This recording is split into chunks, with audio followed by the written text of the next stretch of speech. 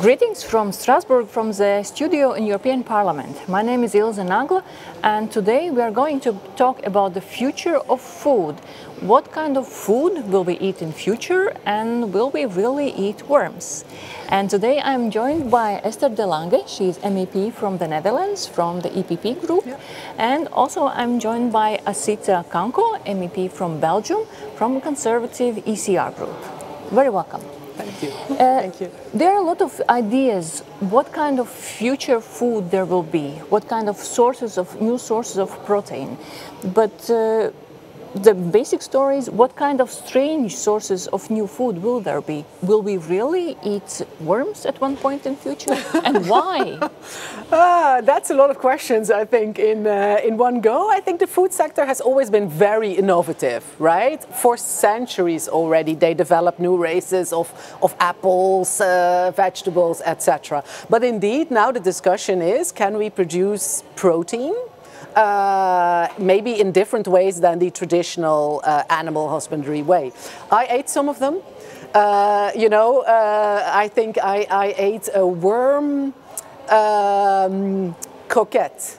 Uh, and any good? Any good? well, actually, the worm croquette I didn't like so much, and I had to eat it because I was at a reception for exactly this kind of innovation in agriculture. Uh, but the grasshopper I quite liked. It was rather crunchy. Uh, so you see, as a politician in the European Parliament, when you talk about these things, you also have to do them. Mm -hmm. So the debate about innovation and different sources of protein, even growing protein in a lab, so not needing animals basically to make a steak. Dutch universities are working on that. That is ongoing, still very far in the future, that one, I think. But a discussion that is very close by to us in the European Parliament is the discussion what do you feed animals? A chicken that is in your backyard will eat a worm every now and then, will eat insects. Until recently, they were not allowed in animal food we're changing that. Uh, so that's the kind of legislation, yes, that the European Parliament does. And we stimulate, of course, the innovation that you were talking uh, about uh, into these novel foods. So what is your take on the future food? Well, I think, thank, you, thank you for having us. And I think it's an important question to ask because when we eat food now, there is a whole new philosophy uh, about why we eat uh, what we're eating and uh, how we feel about it. And this has not always been the case. I have a teenage daughter at home and she's always questioning what, we, what we're eating and participating. So people are more and more aware of that. And uh, what they will not do is, uh, we were, is to say, well, I'm going to go and, and, and feed myself some proteins. Like you could say, I'm going to go and charge my phone. Actually, you eat also for pleasure to feel, to taste, to share a moment with someone else. So that's going to continue being there. But we need not only in nutrition, but also in just like in other areas of life, to dare and try new things, to, to, to be open to new adventures. I have, I have eaten uh, a lot of insects when I was a kid. Um, not because I decided, look, great, I'm going to eat insects because it's fashionable. It's just because on that day there were insects and there, there was nothing else. So you just eat what you find, and I did eat them, and they were very crunchy. It was in the raining season. We, we caught them with light, and it was really, really nice and salty. Uh, but I never so ate. Not in Belgium, I assume. Not in Belgium, and uh, we, we, we, were talking that we're going to try uh, and eat uh, some insect to see how it uh, tastes in Belgium.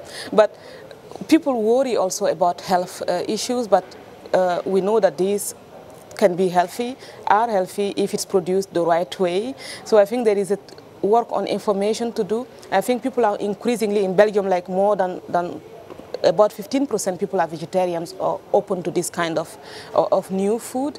We just must be careful not to go to a position where we are looking at those who don't dare as people who are not uh, with the time for the moment because it will feel people reject what, what is compulsory.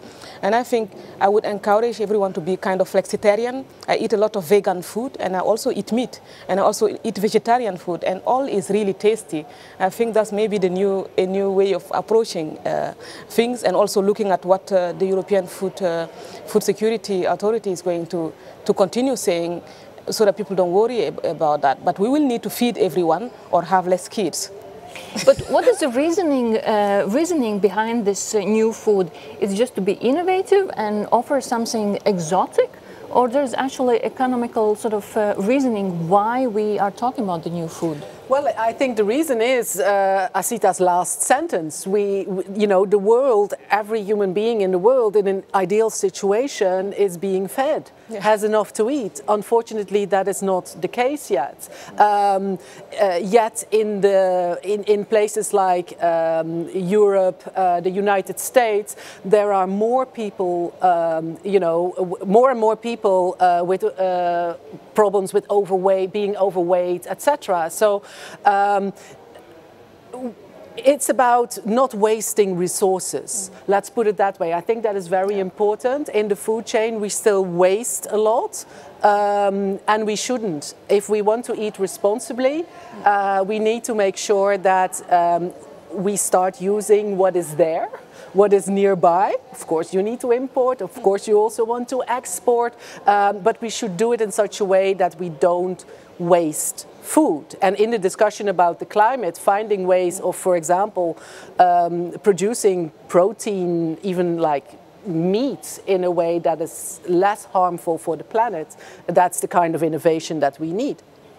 But there is a whole, on EU level, do you see there is strong push to produce protein in new ways? Enough support mm, for that? Mm, well, I think um, we should not forget that when I look at Europe, the most important thing is that food is part of our European way of life. So when I listen to Europeans just out in the street, it's like Assita said, they are not really bothered about the novel foods and innovation. They are thinking about especially now after Corona, you know, am I allowed to go into a restaurant again and share a good meal uh, with my friends or with my family? And I think that's a European way of life that we need to cherish. You know, the idea like in America that you just go through the drive-through nearly every day or have a microwave meal. Please, let's not go there in Europe. So let's cherish the culture that we have the debate about um, how to produce new types of food, I think, is very different in different member states. I mean, I come from a, from a country where farmers have always been highly innovative. Um, so in the Netherlands, it's a big debate. In other countries, they are much more cherishing the tradition, I would say. So the, the balance between tradition and new is different it's my feeling. I don't know how you feel it in Belgium. I, I think the, the, we see a lot of militantism uh, about uh, what kind of food people should eat. And I strongly believe that people should choose what they want to eat. We just need to inform them enough about uh, the, the, point, what you're making, what you're doing to yourself, what you're doing to the planet, what you're doing to your own health. And uh, if you're sitting alone every day somewhere eating something very fast at your desk, it's also not healthy at all. Uh, and I, I agree. sometimes yeah, yeah exactly, exactly. so I, I think it's good to just take a moment and, and really enjoy. I mean, French actually, when I was a kid and, and learned that French, I was in Africa growing up and learned somewhere that French people ate frogs and that it was also, you also had to pay for it. I was very shocked because you could just find a frog in the river uh, there near my house and we didn't want to eat it. So this is completely, thought it was a joke. But in fact, uh, if they did eat that someday, we could eat plenty of other things. And I also think that when we are promoting this kind of new food, we need to not forget what are the causes of the reason why we need this. And we need to have an holistic approach of that and not start uh, taxing meat more, for example, because people eat what they need. Sometimes I can feel the need to eat. You know, everyone can recognize that. You can feel the need, like your body will tell you what you need. And if you have a certain type of vitamins not in your blood, you will maybe feel the urge to eat some meat or to eat some other kind of vegetables. So it is, people don't taste the same. If you give uh, kids uh, candy in, in Brussels, they will find it sweet. If you go to Japan and give it to, this, to other kids that are the same age, they might not find it sweet. So it's a matter of taste. The tastes are different, it, yeah. The tastes are yeah, different, true. so you cannot discuss about taste and colors. And, and, and at last, last point I would like to make is also that it's, we should not underestimate how difficult it is to even cook uh, mainstream food for yourself. Uh, if you need to cook very special and so on, honestly, I have cookbooks at home. If I go to the shop to buy ingredients, I usually don't even know what the ingredients are and I don't find them, so I just use part of it. It's very, very difficult. It's even more difficult to cook some type of new food. So we've learned in research that what is preventing Belgians to go to cross the bridge and start eating uh, innovative food is because they even don't know how to cook it. And then they're like, okay, that's too complicated. So maybe we need to go to some kind of that's very dangerous or, or, very challenging what I'm going to say, like vegan fast food.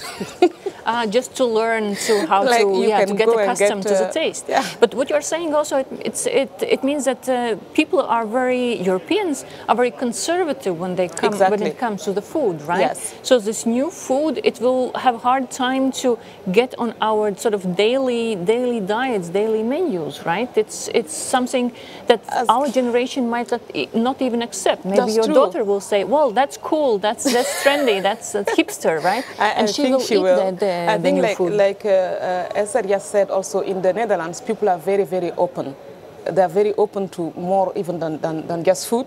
But in uh, in Flanders, we may just be uh, more open as well than Wallonia. So it will depend on the culture uh, and of where you are, how you're going, you're going to do it, and also of the type of social interactions that you have around food.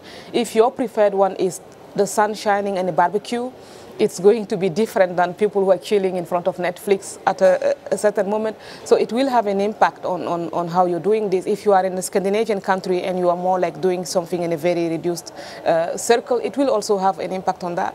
But uh, we, we need to take the member states approach into this and not just do only a European thing. We, we need to be like the, the, uh, the kind of umbrella to, to help mm. uh, go into that direction and start this conversation.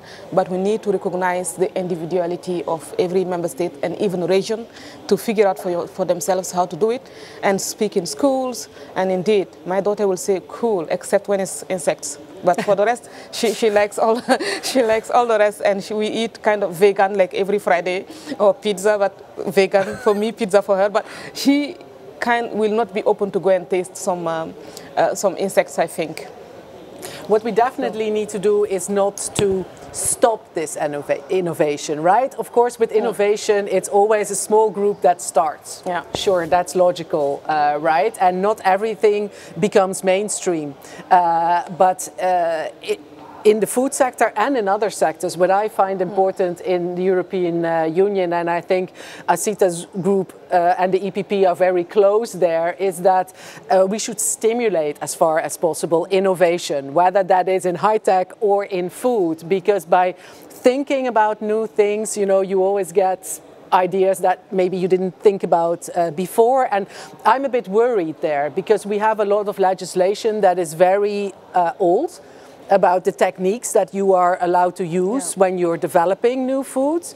Um, and we don't seem to be able to update this legislation um, because the, the, European Parliament is very divided uh, between, between those who say, oh, nothing new in the area of food, and those who say, no, we should be able to innovate also without putting a patent on something new immediately, right? You should just have the freedom to develop uh, new fruits and vegetables vegetables. Um, but we have work to do because uh, the legislation is old and until now we haven't managed to update it. If I can pick on that, I would like to say also, I totally agree with you on this. And the, the challenge is also that we usually have the conversations only inside the parliament and we need to go down and speak to the farmers you know, because what is going to happen to the farmers when all the food is developed in a lab? In a lab, that's what they're wondering about. What's going to happen to them? And right now, farmers already have a difficult life, and especially female farmers, they're all forgotten. I don't know, usually when you imagine a farmer, you maybe see a guy, that's what a lot of women in farming feel that they're forgotten and it's going to be even more difficult so we need to join to have them join the conversation and and, and show that this is not a development innovation against farming or how can we together do something that is good for everyone? I think that is lacking this constituency chat. Thank you so much for joining in, in this debate. And uh, as we, we discussed, so there's economical reasoning why we talk about the new food. There are a lot of challenges. One of the challenges, of course, is how farmers will deal with it, and other challenges, how we will make this new food more attractive for people, how we'll make it cool and maybe also uh, stylish. So thank you for joining us. Bye. So now Esther and I am going, we are going to taste the worms, right? the worms I didn't like. It was very